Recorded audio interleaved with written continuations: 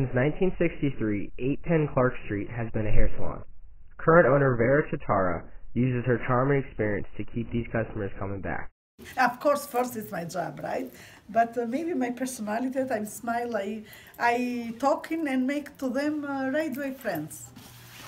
Vera said between 65 to 70% of her customers are Northwestern students. With two children near college age, she sees them as more than paying customers. Yeah, I'm here like a second mother for students. It's so funny for I ask students where you find me. Oh, my mom, my father.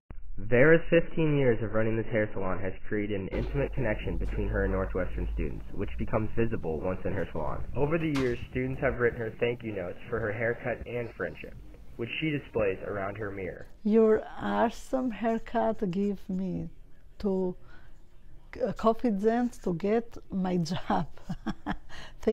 Vera provides other services when cutting hair, including manicures, highlights, and threading eyebrows.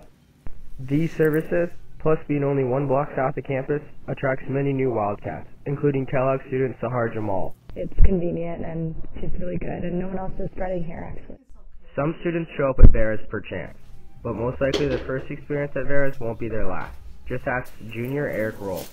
Uh, I used to go to hair cuttery and sport clips, but then I found Vera. Now I'm very happy with the haircut. With Medill News, I'm Hugh Mallon.